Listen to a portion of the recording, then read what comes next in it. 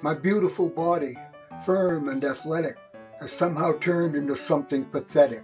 My cholesterol is up, my blood count is down. From my top to my toes, there are spots of brown. It's hard to believe how much longer a mile is.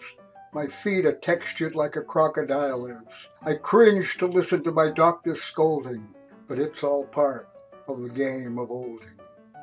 I wear thick glasses to help with reading. My hairline is well past the point of receding. I'm getting slower at repartee. My smartphone is just too smart for me. Every day I discover new aches and pains. My legs look like a map of Ukraine's. At nine, my eyelids start defolding.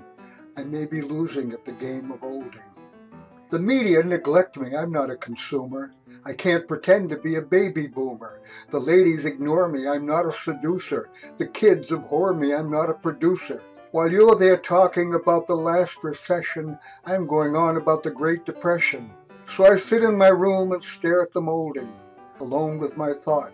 It's all part of olding. We old guys used to know history, but wisdom isn't what it used to be.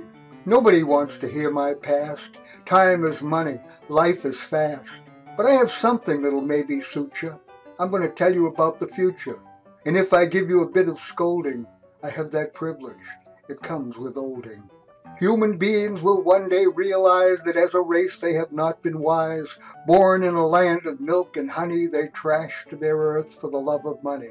They will see the light and change their ways. Their bombs will carry love bouquets. And if you believe everything I tell you, I have a bridge in Brooklyn I'd like to sell you. But I won't add to your consternation. Enjoy the journey. You never know the destination. Day by day, this dream is unfolding. And like it or not, like me, you're olding.